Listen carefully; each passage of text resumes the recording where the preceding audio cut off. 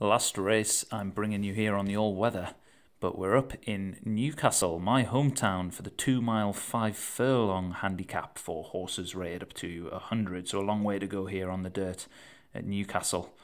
And we've got Everlast for Joshua Sutherland, Colville Slayer for Graham Clutterbuck. The favourite is Royal Longbow for Jim Murray, Ryliev Ardiles for Thomas Rogers, and Rosanna for James Shea. Complete the lineup and they're off and running. The stalls open, nice even break, although Rosanna just being bustled along as they come out that stalls, perhaps a little bit slowly away as Everlast and Royal Longbow go out that, into that early lead. But Rosanna, who was slowly away, the jockey got to work on that one because he wants it to be setting the pace, but already taking a pull there in the horse, racing a little bit freely. Looking to its left there, but all of the horses just sticking towards the rail there at the moment, and Rosanna opens up in a length early lead. An Everlast in second there for the black and red hoops of Joshua Sutherland. Just racing on the inside of, of Royal Longbow. Uh, so we've got quite a long way to go. There's still two, over two miles to travel here at Newcastle. And I don't live too far away from Newcastle Racecourse, actually, less than a mile. So definitely my local track. It's usually the fighting fifth hurdle and the Northumberland Plate that are the bigger races that capture a lot of attention up here. But us Geordies are avid racegoers, so I'm sure there's a pretty decent crowd here today, albeit for only a couple of races here on the all weather. So it's Rosanna in the early lead, still modest pace being set. So it could turn into a bit of a tactical affair this one. So you can see they're going past the big screen here couple of racegoers there have made their way out towards the centre of the track, but the majority of them will be behind this camera view, cheering these horses on, ready to cheer on their bet or their favourite horse as they come towards that winning post again in a circuit's time. So it's Rosanna that's turning left-handed here out in the lead, still a couple of length advantage over Royal Longbow. Black silks in the red sleeve there for Jim Murray. It's finished fifth on both of its two starts today. I think uh, Jim will be pretty disappointed if it finishes fifth again for a third time here, given the size of this field. So that one's about a length ahead of Everlast, who's racing in third.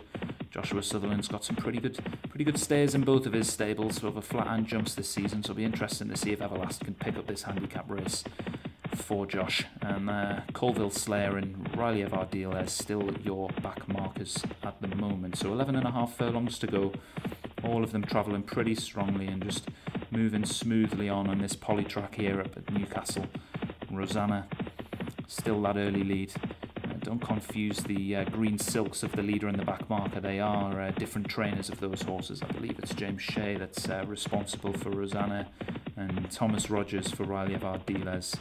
And so Rosanna still the long-time leader.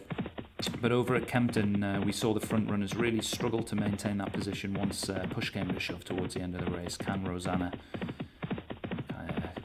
beat the trend, so to speak, and show that front runners can indeed win these all-weather races. So it's Rosanna now, diminishing advantage actually with Royal Longbow that's starting to make some steady and smooth progress. But the jockey doesn't want that one to go up and join the leader too soon and just a little pull of the reins there just to make sure that Royal Longbow does just sit in off this pace and Everlast not not necessarily doing the same the jockey, but um, certainly making some progress and just making sure that a soft lead isn't going to be given to these uh, two horses that are out in front of it. As you can see, the, the jockey getting to work on Rosanna and just having to push that and scrub that one along a bit because Royal Longbow has smoothly moved up alongside it and is now taking a slight advantage.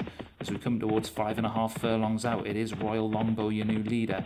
Rosanna, jockey, was briefly back on the bridle and every now and again just seems to be getting to work to try and maintain that advantage. Everlast being ridden very patiently and just in behind those leaders.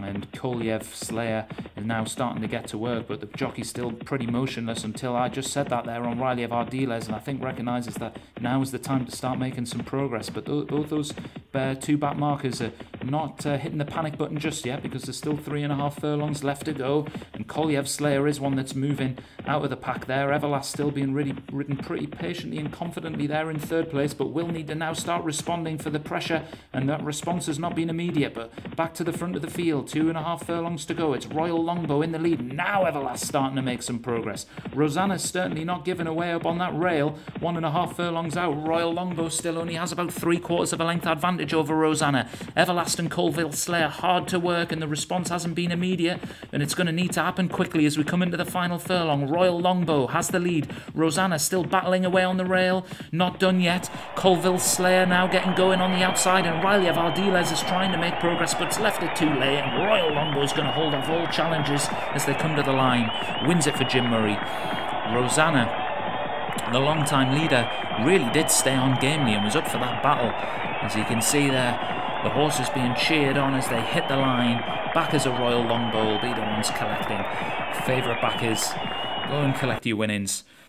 It wins it by a short head for Jim Murray over Rosanna. In second for James Shea. Colville Slayer was third for Pontypool Racing.